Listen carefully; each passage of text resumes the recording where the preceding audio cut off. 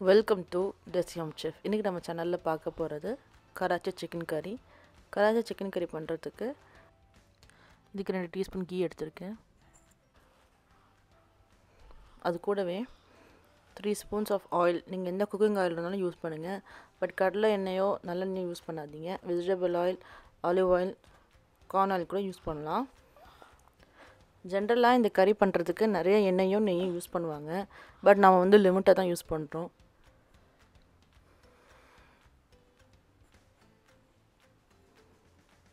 நெய்யும் எண்ணெயும் நல்லா சூடானதுக்கப்புறமா நான் முந்நூற்றம்பது கிராம் சிக்கன் எடுத்திருக்கேன். அதையும் நான் இப்போ ஆட் பண்ணுறேன்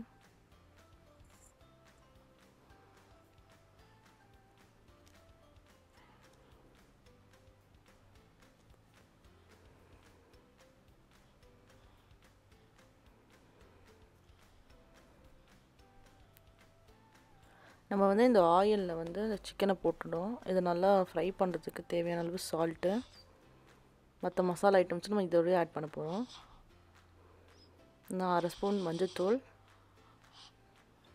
ஒரு ஸ்பூன் மிளகாய்த்தூள் அரை ஸ்பூன் கரம் மசாலா தூள்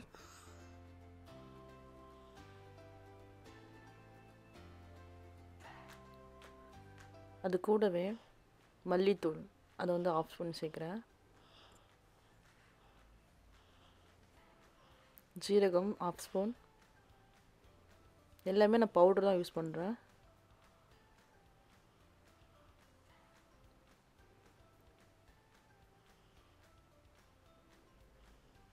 காஷ்மீரி சில்லி.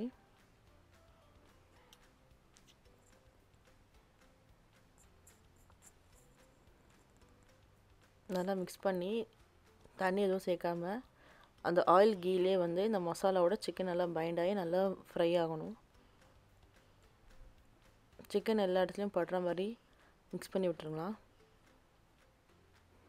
இங்கே மீடியம் ஃப்ளேம்லேயே வச்சு குக் பண்ணுங்கள் சிக்கன்லேயே தண்ணி இருக்கிறதுனால நம்ம தண்ணி ஆட் பண்ண தேவையில்ல.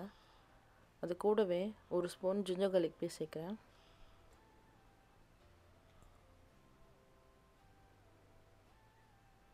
அடி பிடிக்காமல் நல்லா கிளறி விட்டுருங்க. அந்த மசாலாவுடைய ராஸ்மெல்லும் ஜிஞ்சகாலிக்கோடைய ராஸ்மெல்லும் நல்லா அந்த சிக்கனோட நல்லா பைண்ட் ஆகி நல்லா வெந்து வரணும்.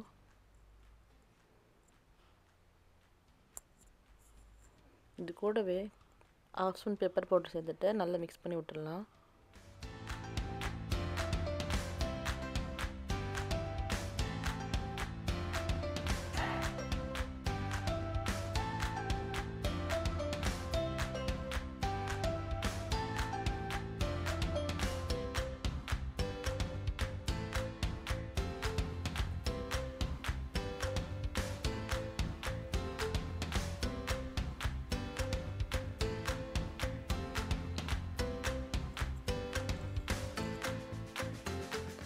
நீங்கள் வந்து இந்த கிரேவிக்கு நாட்டு தக்காளி யூஸ் பண்ணிங்கன்னா கரெக்டாக இருக்கும். மீடியம் சைஸ் தக்காளி நாலு வந்து இந்த மாதிரி நாலாக கட் பண்ணி நான் போட்டிருக்கிறேன். ஜென்ரலாக இந்த கலாச்சி சிக்கனுக்கு வந்து வெங்காயம் சேர்க்க மாட்டாங்க.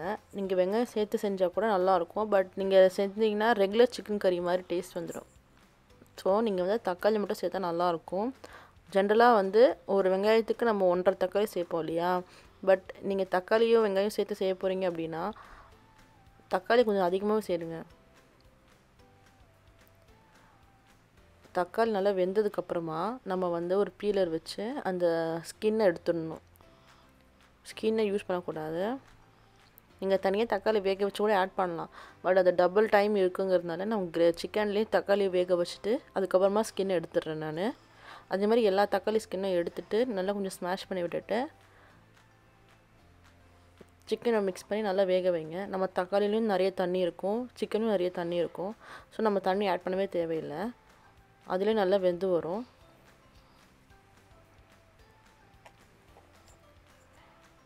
தக்காளி நல்லா வெந்ததுக்கப்புறமா ஒரு இருபது எம்எல் தயிர் ஆட் பண்ணுறேன் தயிர் தக்காளி அண்ட் சிக்கன் மசாலாஸ் எல்லாம் நல்லா வெந்து வரணும். எல்லாம் ஒன்று சேர்ந்து வெந்து வரும்போது நமக்கு ஃப்ளேவர் டேஸ்ட் எல்லாம் நல்லா கொடுக்கும். நல்லா ஃபைவ் டு டென் மினிட்ஸ் நல்லா கொதிச்சிருச்சு. நம்ம வந்து கொத்தமல்லியும் மேத்தி லீவ்ஸும் போட்டுட்டு நம்ம ஸ்டவ் ஆஃப் பண்ணிட வேண்டியதுதான். ரொம்ப டேஸ்ட்டாக ஈஸியாக செய்யக்கூடிய கராச்சி சிக்கன் ரெடி ஆகிடுச்சு இந்த வீடியோ உங்களுக்கு பிடிக்கும் நம்புகிறேன் இந்த வீடியோ பிடிச்சிருந்தா என்னோடய சேனல் டெசிஎம் ஷெஃபுக்கு லைக் பண்ணுங்கள் சப்ஸ்கிரைப் பண்ணுங்கள் தேங்க்யூ